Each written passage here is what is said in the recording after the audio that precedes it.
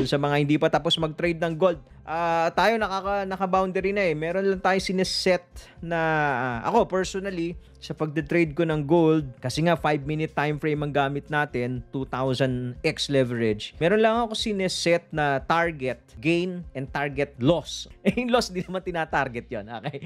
Target gain. Pag na-reach ko na yan in the morning, I stop trading. Kinabukasan na ulit. O, kaya minsan pag hapon, may oras pa. Uh, let's say after lunch, meron pang opportunity, may oras pa tayo, we do it. Pero as much as possible, nagiging disciplined tayo terms of taking profit. Target profit pag na-hit na, okay, kota na to. Tayo. Kasi na, minsan nat- natatali ka dun sa harap ng computer pagka nasobrahan ka sa trade. Di ba? Meron tayo sa GTF na tinatawag na Superman Syndrome. So, for me to avoid that, meron lang akong target. May target loss din. Okay, may maximum loss lang din tayo na inaalaw sa daily. Pag na-reach naman yon, okay, stop trading. Kinabukasan na ulit. So, that's how we practice self-discipline sa trading. Kasi kung wala yan, eh 24-7 ang crypto. Mapapagod at mapapagod kayo.